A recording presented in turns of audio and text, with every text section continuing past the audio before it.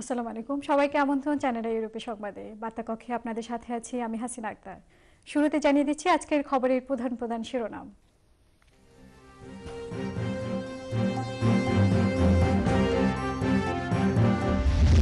নির্দলীয় সরকার ব্যতীত কোনো নির্বাচন হতে দেওয়া হবে না। প্রতিবাদ সভায় আঠারো দলীয় জোট নেতৃবৃন্দ। ফুলবাড়িয়ায় উন্মুক্ত পদ্ধতিতে কয়লা উত্তোলনের বিরোধিতা করে জিসিএম এর বিরুদ্ধে বিক্ষোভ। শফিক চৌধুরীর সমর্থনে লন্ডন প্রবাসীদের সভা দশ ডিসেম্বর মহাসমাবেশের ঘোষণা।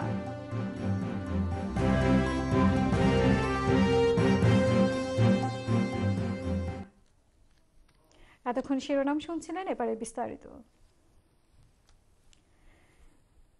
সেভ বাংলাদেশ আয়োজিত বর্তমান সরকার পদত্যাগের দাবিতে আয়োজিত প্রতিবাদ সমাবেশে বক্তারা বলেছেন, নির্দলীয় তত্ত্বাবধায়ক সরকার ব্যতীত কোনো নির্বাচন বাংলাদেশে হতে দেওয়া হবে না। মঙ্গলবার। পূর্ব লন্ডনের একটি হলে আয়োজিত সভায় সেভ বাংলাদেশের নেতৃবৃন্দ ছাড়াও আঠারো দলীয় জোট নেতারা বক্তব্য রাখেন।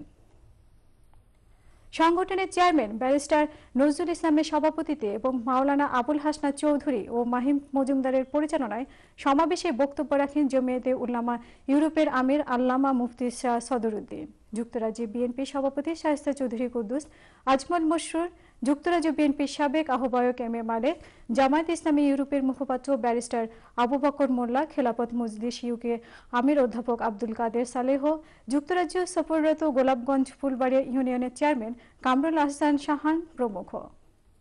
বক্তারা বাংলাদেশের চলমান রাজনৈতিক পরিস্থিতিতে উদ্বেগ প্রকাশ করে বলেন, সর্বদলীয় সরকারের নামে সরকার বাকশাল কায়েমে অপচেষ্টা চালাচ্ছে। প্রধান বিরোধী দলকে বাইরে রেখে কোনো নির্বাচন হতে দেওয়া হবে না। উল্লেখ করে বক্তারা অবিলম্বে বর্তমান সরকারকে নির্দলীয় নিরপেক্ষ সরকারের হাতে ক্ষমতা ছাড়ার আহ্বান জানান।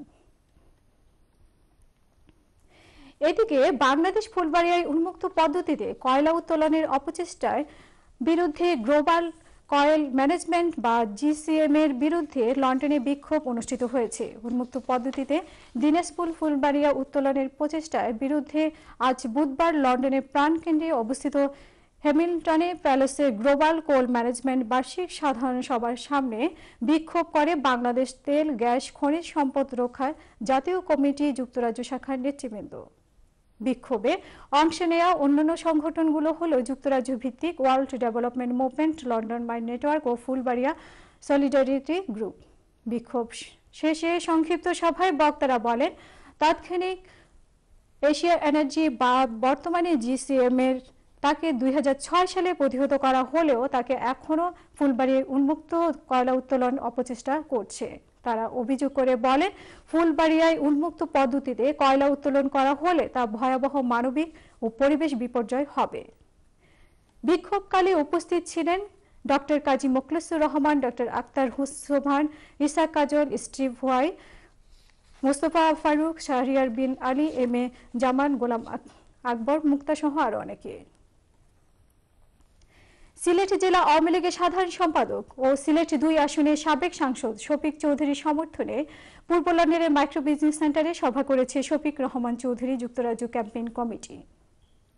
কমিউনিটি নেতা আলহাজ শামসুদ্দিন খানের সভাপতিতে এবং শারুফ আলীর পরিচালনায় সভার অন্যান্যদের মধ্যে উপস্থিত ছিলেন কমিউনিটি নেতা আলহাজ জালাল উদ্দিন, শামসুদ্দিন মাস্টার, শাহ আজিজুর রহমান সৈয়দ সাজিদুর রহমান ফারুক, মারুফ চৌধুরী, গোলাম কিবরিয়া, রবিন পাল, শামসুদ্দিন চঞ্চল, নুরুল হক লালামিয়া, শাহ শামীম মশিউর রহমান, মসনু সহ অনেকে।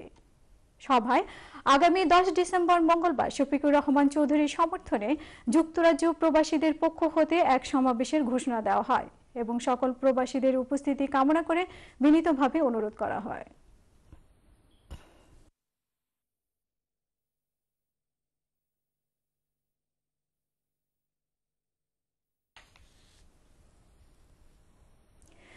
পূর্ব লন্ডনের বেতনাগ্রস্ত